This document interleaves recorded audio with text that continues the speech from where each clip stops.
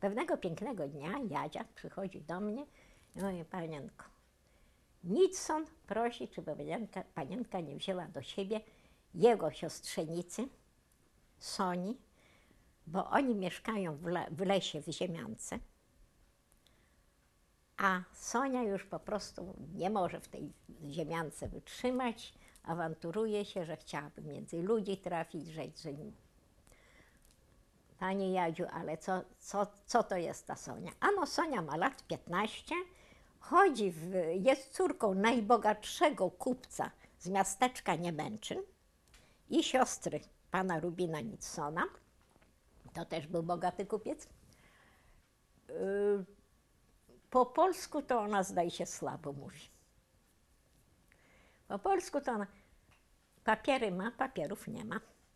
Im się udało jakoś wyjść z getta niemęczyńskiego. Ukryli się o kilkanaście kilometrów od nas pod Żwienianami. A my, ale co z Sonią będziemy robić? Ano niech Sonia z Januszkiem pasie bydło. To był chyba mój pomysł. A Januszek to był mamusi kuzynki syn, którego ciotka przysłała na lato do Orwidowa, dlatego że też bała się 15-letniego chłopca, czy on nie zacznie coś wilnie rozrabiać niebezpiecznego dla siebie i dla nich.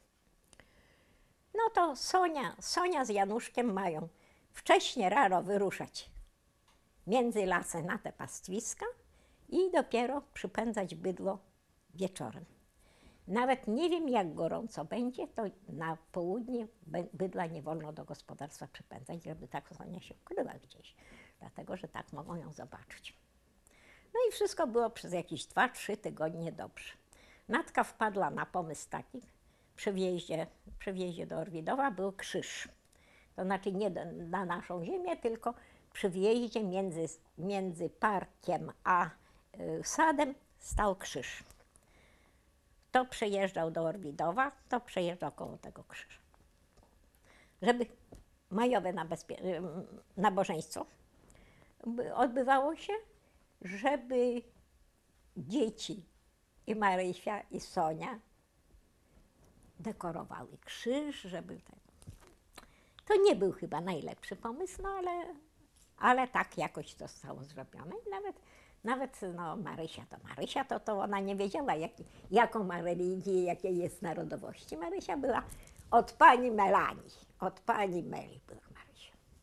Przycichło i wszystko było w porządku. Pewnego dnia pojechałam, to był bardzo upalny czerwcowy dzień, pojechałam ze Stefanem do, do młyna, do Hamerni, to było jakieś 3 kilometry od nas, tam był młyn wodny, yy, zemleć zboże. Dosyć długo byliśmy.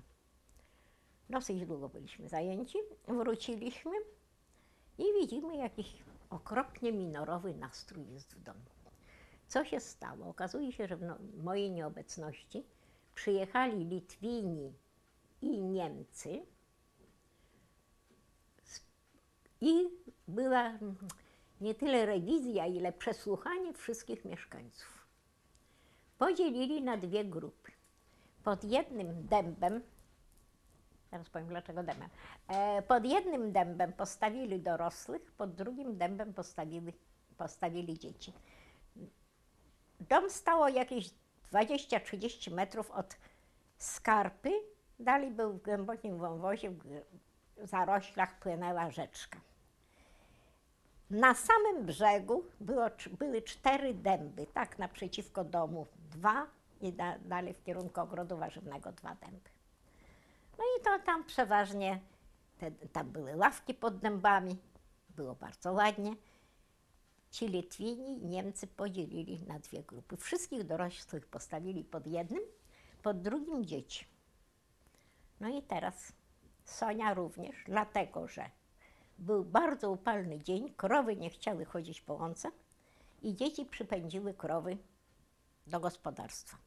Natka, bardzo gościnna i troskliwa o dzieci, zaprosiła ich obydwoje, tych młodych, do jadalnego pokoju, postawiła przy stole, yy, dała chleb, mleko z lodówki, nie takiej lodówki oczywiście, tylko ziemnej, yy, mleko i jadły dzieci. I w tym momencie przyjechali litewscy policjanci i gestapowcy. No i wszyscy, wszyscy poza Sonią mieli dokumenty. A Sonia była przerażona i poznała w jednym z tych Litwinów faceta, który przychodził do sklepu jej rodziców po zakupy różne. On ją pilnował też. Czy on ją poznał, nie wiadomo. Tego nikt nie wie.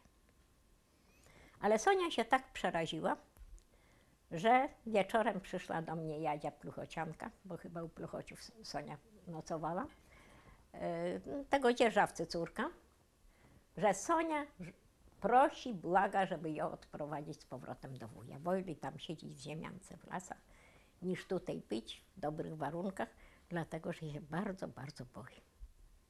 No nie było rady, Sonię trzeba było odprowadzić. E, Zachowali się, uratowali się i zaraz jak tylko przyszły, przyszła armia radziecka i mogli wyjść z lasu, Nitson napisał do mnie kartkę, że bardzo dziękuję.